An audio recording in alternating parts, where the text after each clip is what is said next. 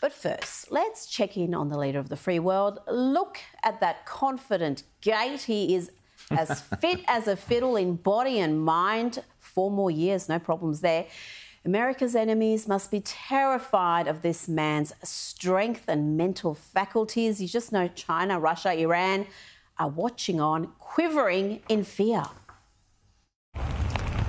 Mr. President, do you agree with Chuck Schumer that Netanyahu should go?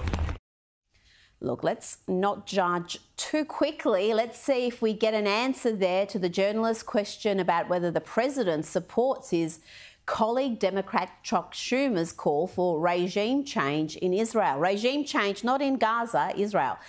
This clip should inspire supreme confidence in the commander in chief.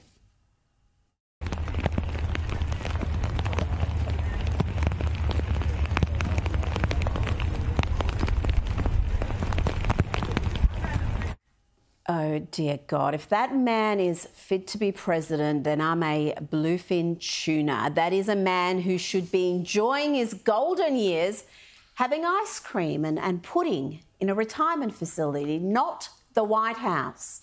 Or could we combine the two? At White House Senior Living, our residents feel right at home. Our vibrant facility offers delightful activities and outings, round the clock professional care, and exquisite house made meals. Well, I've been eating everything that's put in front of me. I've been eating all, all Italian food, basically. And ice cream. And ice cream, chocolate chip ice cream. White House Senior Living, where residents feel like presidents. Goodness good. me, beautiful bit of satire there. But it's not just the Yanks bring us political satire. We have brilliant writers and cartoonists poking fun at the absurdities of the Australian political system. Ladies and gentlemen, sit back and enjoy the latest episode of Pauline Hanson's Please Explain. This week, we explore the beauty of DEI, diversity, equity, and inclusion. Alrighty, time to hire our chief surgeon. Two candidates Steve, top of his class, 25 years experience, miraculously never lost a life. Or Opal, legally blind with an essential tremor, never worked a day in her life, but has wanted to be a doctor ever since she was a little boy. What school did she go to? Uh, puppy school. She identifies as a moodle. Okay, I, th- I think we should go with Steve.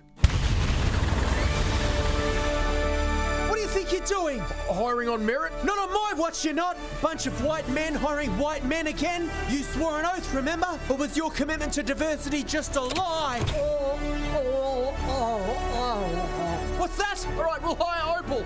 Good. Nice job, Adam. This diversity, inclusion, and equity weapon sure is powerful. Yeah, well, if you're serious about eradicating racism, you're gonna need the big guns. Oh, there's just so much racism around here. Look over there. Why is this woolly selling Australian flags? Take them symbols of oppression down now. Of course, of course, I apologise. Why didn't you consult with First Nations peoples before putting this park bench here? Oh, I didn't think that. Tear it down and apologise. Oh, okay, I'm sorry, I'm sorry. Yeah, that's right. Ah, there's so much racism around here. What's that, a Zoom call without a welcome to country? Hey, Adam, do you reckon I could have a go at pointing the gun at people's heads? Now, let's see if Albo does any better wielding the weapon that is DEI. Perhaps he will hold anti Israeli activists accountable or point out that a multi-millionaire soccer star allegedly berating a working class copper with racially charged language should be frowned upon, or will he meet the consequences of his own stupid actions? All right, stamping out racism wherever I see it. Is that a from the river to the sea poster? Ha! That's calling for genocide. That's racist, right? What? No, Albo, that's activism. Oh, yeah, yeah, sorry. Yeah, of course. I was just being stupid. Oh, but look over there. There's Australia's favourite lesbian female soccer player for the Matildas, Sam Kerr. And what's she doing? Being racist to a police officer? You stupid white. Ah, Sam, you need to do better. Nope, that's not racist. Move on. What? But didn't you hear what she said? Yes, but it's impossible to be racist against white people, Albo. Oh, that's right. Oh, yeah, that's not contradictory at all. Um, but oh no, there's Justin Trudeau, the Prime Minister of Canada, doing blackface again. Albo, no. He's one of us. Just ignore it. Now, hang on, now I'm confused. That doesn't make any logical sense. Logic is racist, Albo. It's a filthy white construct designed to maintain the hierarchical power imbalance that we're trying to destroy. Oh, I get it. This is a completely incomprehensible weapon that's not actually used to eradicate racism, but rather just to use against our political enemies. Now you're getting it? Haha! All right, let's go destroy the fabric of society. Not so fast. You think I'm scared of this? I've had this thing fired at me more than anyone. Go on, take your best shot. Make my day. Huh? What's going on? No one's ever stood up against this thing before. What do we do? Fire! Press the button, Albo. What are you waiting for? Destroy her! Ah, okay.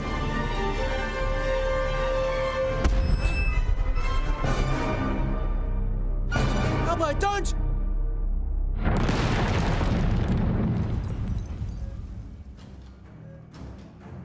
Let's open this stupid white it up. Scalpel. Oh no, the consequences of my actions, no!